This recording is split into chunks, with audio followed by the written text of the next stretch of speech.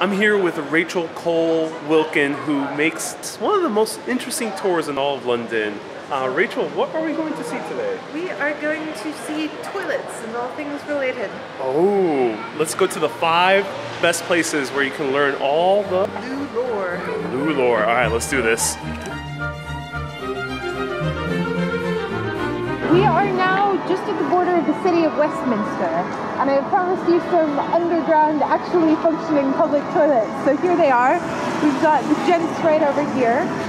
Um, and this design is very classic late 1800s, really up through the 1950s. And it became popular sort of because it's very discreet. It's tucked away underground, so all you see is a pretty iron railing. Could be a subway entrance, could be any number of things. And you'll notice we're in the middle of a traffic island. So we are very literally separated from polite society here. You have to step away from all the nice buildings. you have your to- privacy. to- so you have your privacy, and so nobody has to know too much about what you're doing down here. Um, these are actually a rare example of currently functioning underground toilets. So a lot of these underground toilets have closed down, uh, largely due to the fact that they don't meet modern accessibility requirements. They go down a lot of steps, usually quite narrow spaces. Uh, so they're more expensive to maintain because they're underground. They're slightly more complicated. They have older plumbing. So councils often close them down, but then they have the spaces left over, and so they have to figure out things to do with them. And in recent years, over about the last 10, 15 years in England, we've had a lot of reimagining of these spaces. So there's a very cool cafe and one where they've actually left all the urinals along the walls and they put a sandwich counter up and so actually sit at the urinal to eat. It's really nice. Um, that's over near Oxford Street. It's called the Attendant. Uh, there's several bars, one of which we go to on my tour, that are former underground toilets. There's an art gallery in Kennington, South London. Oh, wow. Um, they, they, it's pretty much just the old toilet. The doors and all the fittings are still in there, but they have artists come and do installations. And, and there's a woman in Crystal Palace who's turned one into a house. So um, she actually lives in one. They, I don't know if they have on this one. She owns it. A lot of them have sort of glass skylights, which we don't have here. Skylights here. Um, I can show you some a little bit later on. So they get a bit of natural light in, and they're actually quite spacious oftentimes. Um, the only downside to all these cool reimaginings is oftentimes when these public toilets get closed down, they don't get replaced necessarily with anything. So So you have to go just to the pub. Out, or you go to the pub. Or the Starbucks. Um, or the Starbucks, or the McDonald's. Somebody taught me the phrase a McWee the other day, which I think is awesome. I'm going for a McWee. This means I'm just gonna pop into McDonald's and Um, we can check out sometimes, and I haven't been in this one, but sometimes they have very nice mosaics on the Oh, wall. you do? So Okay. let's see what we find. Told off for going in the gents. I mean, uh, are, has London moved to gender neutral bathrooms yet? Um, in some places, not very many. No, we've been down here before. This is interesting. So here Um, is the. Here is the facility. As you can see, it costs 50 pence, which is true of every public toilet in Westminster, not in London, but in Westminster, every public. Toilet. Oh, there you go. There's a little bit of No art on the wall there. No wonder they Um, fit bars in here. So you've got a sort of 1920s, 1930s couple over there in the corner on this nice little painting um, outside the Royal Courts of Justice. No wonder they fit like the entire Yeah. bar in here. This is massive. This is bigger than most public bathrooms in America. Oh yeah. So why does uh, London take its um, bathroom so seriously? Um, we have Or used to? a well huge population. But no, I can't talk anymore. Huge population for a start. Um, so around the time public toilets were becoming common in the 1800s, London had gone from just under a million people at the turn of the century, over two million by 1850. And what are often hailed as the first public toilets, even though they weren't really, were at this exhibition called the Crystal Palace in 1851. And uh, this was written sort of at the height of the British Empire, a chance to show off all that was great and glorious about this wonderful island.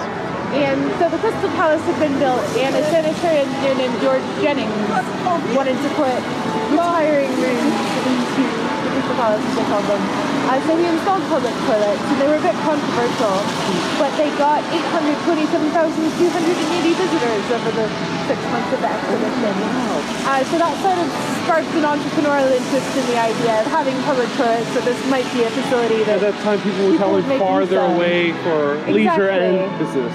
And uh, the flushing toilet, like as we recognize it today, the first patent was taken out in 1775 by a Scottish watchmaker who patented the U-bends, which was revolutionary because that prevented the bad smell from creeping back up. So that makes it a much more attractive thing to have in your home.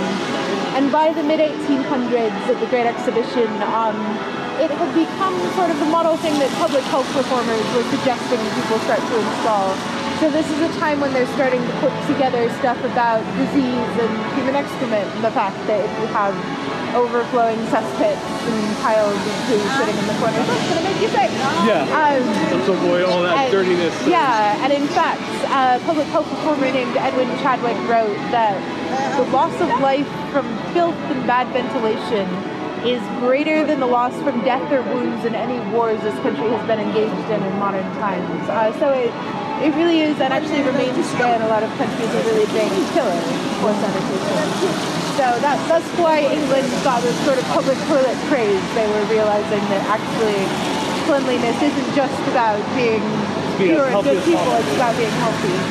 And up till the mid And hence all the beer drinking as hence well. all the beer drinking. Um, and up till that point, historically, being clean was the way upper classes could really separate themselves from the poor and sort of almost justify their status. We are clean, we are decent, unlike those dirty, immoral, poor people. And Chadwick actually brings filth and morality, which is a whole other interesting uh, area of exploration. But then around the mid-century, they're realizing actually if the poor people are getting sick, that's going to impact us because is still going to affect us. Um, so that was a really good incentive to sort of up the game for everybody and to ensure that there was public provision made um, rather than just say, oh, the underclasses can stay in their slums and do what they're going to do. Let's check out the ladies just because we may have interesting mosaics in here as well. Um, until we get arrested for bringing a camera into the ladies' toilet. I might be arrested Um, by the yeah, ladies. maybe we won't Usually go not vice too far. Um, Alright, we'll just look at this little mural on the wall here. It depicts the local area. Oh, And then we'll make a hasty retreat, There we go. lest anybody should think we're peeping around corners not good ways. The number of times people have said to me, Negro speaking English." Excuse me, ma'am, that's the gents. And I I know, I just want to photograph it. So this is a modern example of what London now tries to do, which are coin-operated automatic public toilets. They're on the street. They're usually a prefab facility that gets brought and dumped here. Um, and there's not nearly as glamorous as the other one. I don't know if we can go around the front. Let's Oh, yeah. see if there's still people waiting. Oh, they're off. Perfect. Good timing. I didn't want to alarm people by having it. So I was like, I think it's going to do a cleaning cycle now. Let's see. Closed? Nope, maybe. Interesting.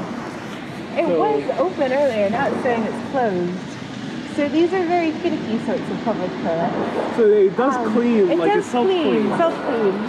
And you get only 20 minutes maximum. You get, I know, I love this. You have a 20 minute maximum. So you can't take a good sleep You there. can't take a sleep, and I think that's part of why they don't want people sleeping or having sex or other things in the toilets, which people do.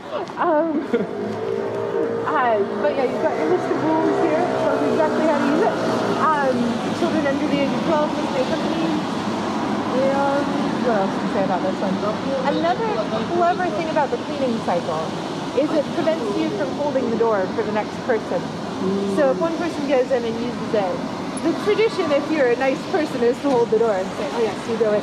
Uh, but Yeah. if you have a cleaning cycle in between, then they can't do that because then the next person in gets a shower, uh, which they probably don't want. Which would suck. So, um, so that's the sort of ulterior motive for that. That's interesting. Are they? Do you, would you recommend them if you're a tourist to come? I use here? them if I'm desperate. I wouldn't go out of my way to find one. Okay. Um, although, just to point out, and this is a curious quirk of London, this Pret right here does not have a toilet that visitors can use. So if you're in there and you say where's the loo, they, they point you towards out here. And I'm not even entirely sure if that's legal. The laws here are a little bit funny regarding like how many seats you have to have before you're required to allow people to sit down. Exactly. Um, this is the cellar door cocktail bar, but that's not how it started life. So um, originally this was one of London's underground loos. You'll notice there's just one here. This is because it probably would have been men only. There's a lot more for men than women. And this one, at least according to the current owners, had a bit of a reputation for being a notorious spot for gentlemen of a certain persuasion to go down looking for romance at a time when it was illegal. Right next to the Um, red light district right here in next to the red light district in Theatreland. Uh, they like to claim Oscar Wilde as one of their patrons, though I happen to know this is the mid 1900s, Yeah. so unlikely that Wilde himself came down. Um, but there's still today, I've met people who have almost this nostalgia for cottaging, as it's called here, which was trysts and public toilets. Um, so it still goes on, although thankfully people can do it in other places too now, I think is a good thing. Um, but Cellar Door, in addition to its heritage as a loo, has amazing toilets of its own. So the doors are completely clear until you lock them and then they're crossed over so that you can't see through. At first, And- you're very so daunted. at first you're very daunted, and one of the great joys in life, I think, because I'm a bad person, is to sit down there just watching people who don't know head back to the news and and stand there with an increasingly horrified look on their face and sort of prod it. Then eventually they figure it out. They come out very excited about toilets, which is what I like to see. That's how I feel when I go to a public bathroom and they don't have the doors attached, just because I assume they don't want people to be inside of them. And that's always terrifying. Like you just try and hide as much as possible. Yeah, see, I haven't encountered that as much. I think maybe in ladies' loos I tend to be a little more private about things. But one thing Yeah. that I had never realized was odd till I moved here in America we have those gaps at the bottom of the door and sort of a gap along the side of the door. Oh yes. And Brits think that's so weird when I would get asked all the time, why? Why? Because here the doors go from floor to ceiling and they Yeah, close. I feel very private Um, here. Yeah. and I think it's, I give two reasons, and I don't know if either or both are accurate. One theory is that it's a surveillance sort of thing, so if you can see how many feet are in there, you can make sure there's not too many feet for what should be going on in there. Exactly. Um, but also, we are we are a rustic people. We are pioneers. We moved out and made do with what there was. So we sort of got away from that Victorian prudery and we must be as closed off as possible. Like, you know everything. exactly. Um, and we don't go around peeking through the doors. Like I think that's what some people feel like everybody's going to come and look, and we, we don't do that. you doing? We don't do that. Next, we're going to go to one of London's newest public toilets, which has taken a slightly different approach than the others. All right, we are outside To the Loo. To the Loo is billed as the world's first toilet shop concept. And this is one of London's more expensive loos. You pay a pound to get in. Once you put your pound into the little turnstile, you're issued with a voucher, which you can redeem on the way out for 70 pence for any item in the shop. Most of their items do cost more than 70 pence, so you will end up spending some money. But this concept was originated in Amsterdam. There was an entrepreneur who was traveling around. He had his wife and child with him, so for the first time realized just how hard it is to find good toilet stop you need to go. And because he was a business-oriented guy, he said, I know what we need. We need a line of really high-quality toilets that people will see the brand and they'll recognize it and they will want to go there. So he created 2theloo. There are about 600 of them across Europe. This is the very first one, as far as I know, in England. And I think it's still the only one. So we'll see whether 2theloo takes off here. So this is a business. This is a business. This is a big chain, um, and it's they're very nice inside. That's part of their brand promise. You'll get a nice loo. In this one, they have wallpaper for different scenes around Covent Garden in London. They have a children's facility which has a small toilet and a big toilet. Um, I think it has a disco ball. One of in Amsterdam had a disco ball in the children's Oh god, I myself. sort of soothing uh, for small children. And small children often have a lot of anxiety around public toilets, so having somewhere that's pleasant and is important. and let me have you like walk into. Say where the next stop is, but say I gotta take a break Okay. before. Um, I have to pick where the next stop is. Alright. Um, I'm going to show you the other toilet option in Covent Garden, which is back to the underground ones we were looking at before. First, I'm going to take a break. So we have another example of underground loos here. We're now in Covent Garden, one of the biggest tourist attractions in the West End. And these underground loos again continue that great British tradition of charging for use. They can still cost 50 pence we're in Westminster. Again, they're tucked out of the way, so they're very discreet. And this is your alternative option to the more expensive 2theloo over there. For a while, I was worried these were going to close down because 2theloo opened and then these closed for about four months for refurbishment. But one downside of privatized toilets like 2theloo is that um, the city sort of goes, well, there's another option, so we don't have to be in charge of it anymore. And they stop providing. see. Uh, but you asked about where the word crap comes from. That's one of my favorite questions. So many people have heard the name Thomas Crapper, and they may have heard that Thomas Crapper invented the toilet, which is not true. Um, but there was a real live guy named Thomas Crapper. He was born in 1836, trained as a plumber, and then went on to become a sanitary engineer and manufacturer right about the time that flush toilets were becoming really popular. And so he went from being a poor Yorkshire lad to designing toilets for royalty, and by the time he died, he was having champagne breakfasts every day in the pub. And the word crap sort of relates to him, but not originally. So crap was a Middle English word. It's a bit of chuck that you separate from the wheat. And it had come to mean poo, sort of as slang, because it's the useless spit that gets thrown away. It's got that connotation. But in England, by the 1800s, it had fallen out of use. So nobody really thought twice about the fact that Thomas Crapper branded all his toilets with his name, had a huge sign that said Crapper in a very posh area of London. But in America, our language evolved differently since we split off and had our revolution. And so we kept a lot of archaic English words, and crap was one of them.